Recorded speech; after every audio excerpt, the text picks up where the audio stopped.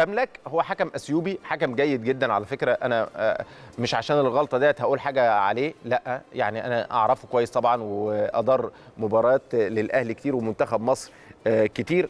حكم كويس جدا. تقديره في الكرة دي ما كانش مظبوط خالص رغم إن هو شايفها برضه. تقديره إيه مش عارف يعني كان باصص لها إزاي لكن آه، دي يسأل فيها الراجل ده يعني.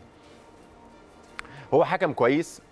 شخصيته كويسة قوية مش بيتنرفز كتير مش هتلاقيه بيتعصب يعني يعني مش هتلاقيه من الحكم اللي هو بيقعد يشوح وبيقعد آه، صوته عالي ويقعد يعمل لك كده. لا هو بيسيطر كويس جدا وبيروح هتلاقيه في قلب ال- الحدث لو في حاجة حصلت ولا حاجة بياخد قراراته سليمة 100% ب- بيدي ال- ال- الكارت الأصفر في ميعاده الكارت الأحمر في ميعاده. حكم جيد يعني للأمانة حكم جيد. حك حتى الحكم اللي هيحكم اللقاء الثاني اللي هيبقى آه، في الجزائر اللي هو جوميز أنا من وجهة نظري الشخصية ورأيي الشخصي يعني هو أحسن حكم في أفريقيا على الإطلاق.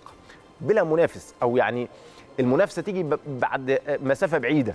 أي حكم تاني مع الراجل ده يجي بعد على مسافات بعيدة. يا رب يكون موفق يا رب يكون موفق. لكن هو على المستوى إدارة المباريات والسيطرة على المباريات رغم إن هو قد كده.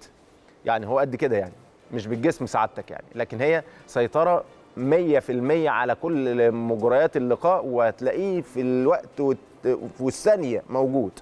وكان حاكم لنا مباراة كامبالا سيتي جوميز ده ده بملاك ده بملاك ماشي؟ ده الحكم الاثيوبي الطاقم التحكيم بتاعه 100 100 يا سمير. okay. فاللي هيديروا اللقاءين يعني كويسين جدا حق ربنا يعني. يعني يبقى بقى عنصر التوفيق يعني. فيا رب إن شاء الرحمن يكونوا موفقين بإذن الله تعالى وإن شاء الرحمن يبقى الأهلي بإذن الله آه، آه، موفق إذا كان المباراة اللي هنا أو آه، اللي هناك. ده الطاق الطاقم التحكيم بشكل عام. حتى مراقب اللقاء اللي هو السوداني شمس الدين مجدي. طبعا بنوجه له كل تحية وتقدير هو حكم كبير جدا جدا جدا من أيام الثمانينات والتسعينات لو تتذكروه كمان يعني فحكم هايل يعني.